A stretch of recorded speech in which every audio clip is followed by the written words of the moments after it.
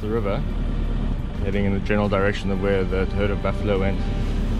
And lionesses do seem to be fanning. These lions have caught up with some of the buffalo at least.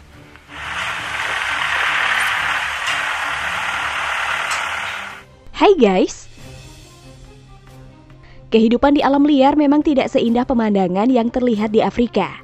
Seperti bisa disaksikan di sejumlah tayangan National Geographic misalnya guys. Biasanya predator seperti harimau, singa, macan tutul, leopard, dan puma selalu menjadikan hewan liar yang lebih lemah sebagai santapan mereka. Meski demikian, ada kalanya hewan yang dianggap lebih lemah bisa lebih berani dari sang predator loh guys.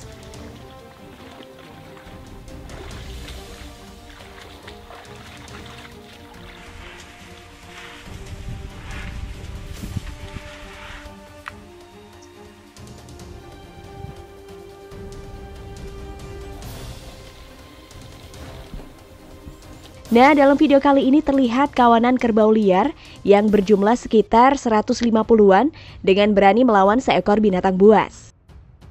Yang juga disebut sebagai raja alam liar singa. Biasanya kan kerbau takut dengan singa dan ujung-ujungnya menjadi santapan singa. Namun kali ini sebelum dijadikan santapan, kawanan kerbau ini dengan berani melawan kawanan singa yang ingin memangsa anak dari salah satu kawanan kerbau tersebut. Oh, no. bad. Oh, no.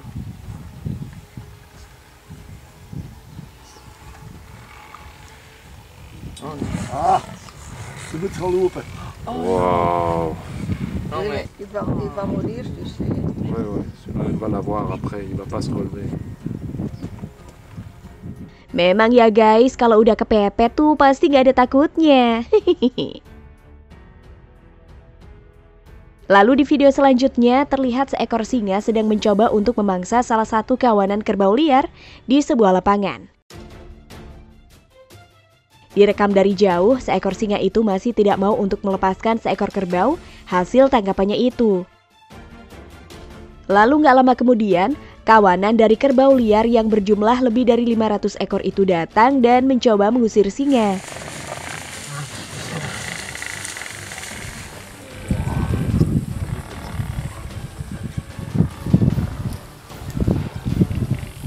Setelah sekian lama, kawanan kerbau itu mencoba melawan, singa masih berusaha mempertahankan calon mangsanya itu. Tapi merasa dirinya terancam dan tidak mungkin kalau melawan ratusan kerbau itu, si singa akhirnya melepaskan hasil tangkapannya itu guys.